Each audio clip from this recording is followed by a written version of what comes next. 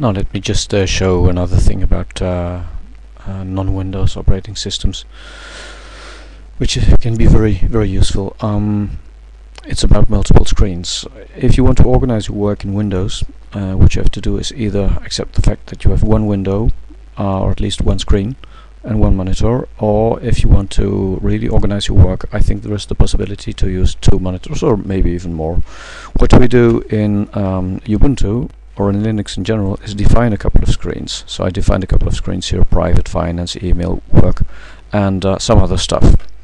If I want to move an application to another screen, let's say for instance my calc application, OpenOffice Calc, the only thing I have to do is really move it to